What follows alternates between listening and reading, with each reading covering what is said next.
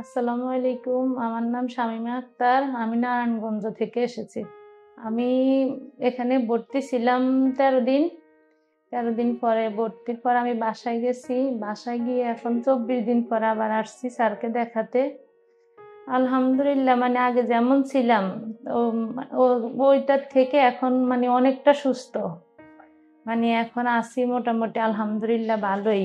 আগে আমার কোমরে সমস্যা ছিল, ফিটে ফিটে ছিল, পায়ের গোড়ালিতে ছিল।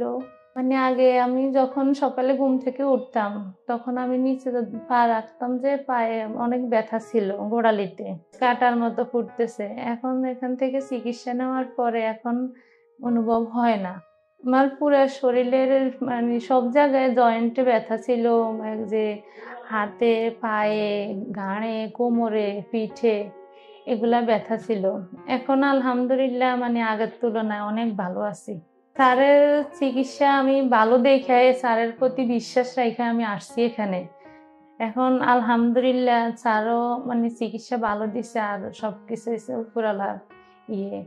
এখন আলহামদুলিল্লাহ ভালোই আছে। আশা করি তবে যে মানে ভালো হয়ে যাব।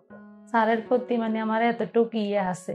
আমি অলরেডি স্যারের ইয়ে অনেকজনকে দিয়ে দিছি সে মানে এই জন্যই যে আমি আয়সা মানে আসার পরে আমি ভালো চিকিৎসা মানে ইয়ে হয়েছে আমার ভালো হয়েছে এই কারণে আমার পরিচিত অনেককে ইয়ে আছে, ওনাদেরকে আমি স্যারের মানে ঠিকানাটা দিছি যে এখানে আয়সা দেখানোর জন্য।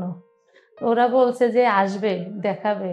সবাই আমার জন্য দোয়া করবেন। আমি যেন এখন যেমন আছি, এর থেকে যেন আরও ভালো, সুস্থ হই। সবার কাছে এটাই আমার কাম্য।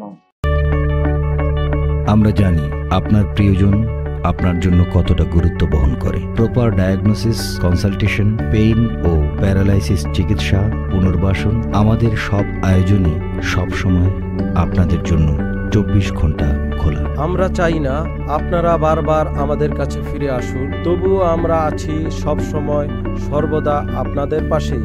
ডিপিআরসি হসপিটাল লিমিটেড, আস্থা, বিশ্বাস ও নির্ভরতায় অবিচল।